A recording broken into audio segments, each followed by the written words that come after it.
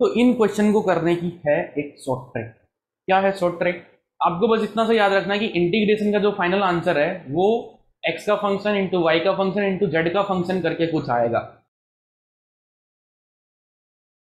Hello everyone welcome to the channel आज मैं आपके सामने लेके आया हूँ टफ क्वेश्चन में वर्क कैसे कैलकुलेट करें, उसकी एक शॉर्ट ट्रिक जैसे कि आपके सामने क्वेश्चन आता है कि किसी पार्टिकल पे फोर्स लग रहा है। और वो फोर्स जो है कॉन्स्टेंट नहीं है वेरिएबल है। ठीक है? साथ ही साथ वो फोर्स की इक्वेशन आपको दे रखी है two X I cap plus three Y J cap यानी कि एक्स डायरेक्शन में आगे बढ़ रहे हो फोर्स की वैल्यू भी बढ़ रही है। वाई डायरेक्शन में आगे बढ़ रहे हो फोर्स की वैल्यू भी बढ़ रही है। कुल तो मिलाकर फोर्स वेरिएबल है। इसकी वजह से अगर आपको कोई बोले कि ये फोर्स लगा के किसी पार्टिकल को मैं ज़ीरो कोमा ज़ीरो से टू कोमा थ्री तक लेके गया तो बताओ कितना मैकेनिकल वर्क डन हुआ तो वर्क डन निकालने के लिए सिंपल सा फॉर्मूला लगाते हैं। एफ़ डॉट डी एस ठीक है? यहाँ पे एफ़ की वैल्यू डाल दो two X I cap three Y J cap then D S को हम लिखते हैं D X I cap and D Y J cap D Z K cap जितना होता है आई कैप जे कैप के टर्म उतना ओपन कर देते हैं। यहाँ पे दो टर्म है, दो को ओपन कर देते हैं। एंड सिंपल आई वाले आपस में मल्टीप्लाई हो जाती है जे वाली टर्म आपस में मल्टीप्लाई हो जाती है। तो इस तरीके से इक्वेशन हमारे सामने बन जाती है और लिमिट लग जाती है।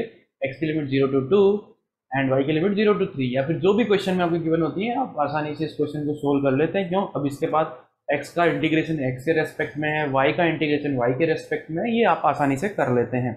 बट अगर आपके सामने क्वेश्चन कुछ इस तरीके का आ जाए F is equal to Y I cap plus X J cap X direction में लगने वाला फोर्स वाई पे डिपेंड कर रहा है। वाई डायरेक्शन में लगने वाला फोर्स एक्स पे डिपेंड कर रहा है।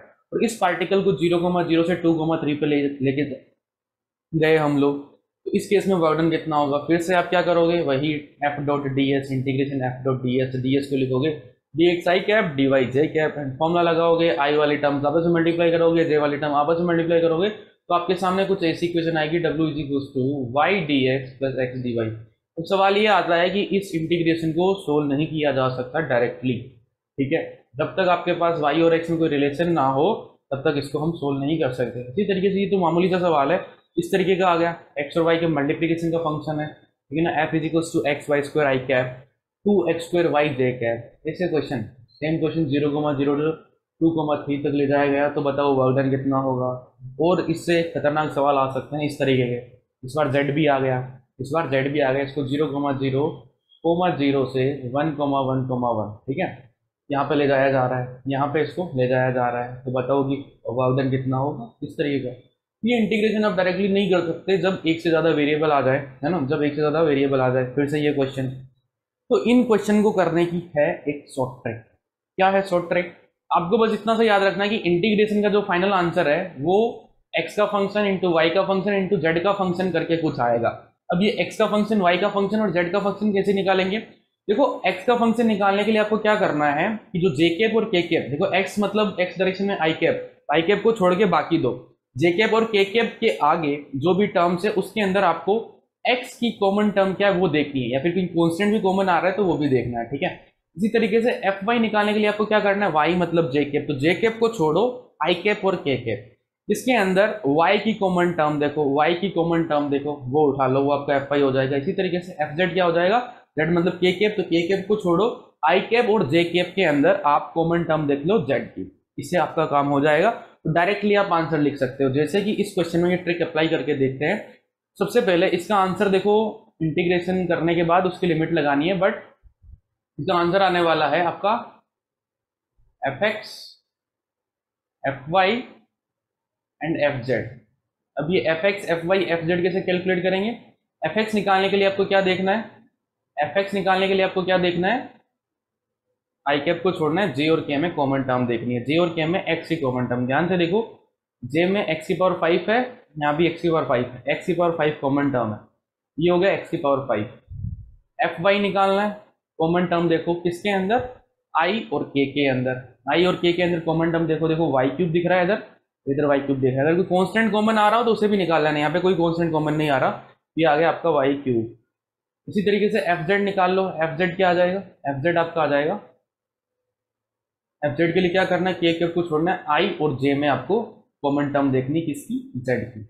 आई में जेड स्क्वायर है जे में भी जेड स्क्वायर है कॉन्स्टेंट कॉमन नहीं आ रहा मतलब जेड स्क्वायर बस, आपका फाइनल आंसर हो गया एक्स की power five Y cube Z square अब जो भी लिमिट क्वेश्चन दे, मान लो कि क्वेश्चन बोले zero comma zero comma zero से one comma two comma three तक इसको ले जाया गया। फॉर एग्ज़ाम्पल कुछ भी दिया जा सकता है। अब क्या करना है? एक्स वाई जेड की वैल्यूज़ डालो, आपके पास आंसर आ जाएगा। कितना आ जाएगा? देखो वन की power five one two cube eight ये nine seventy two joule answer आ गया आपके पास, ठीक है?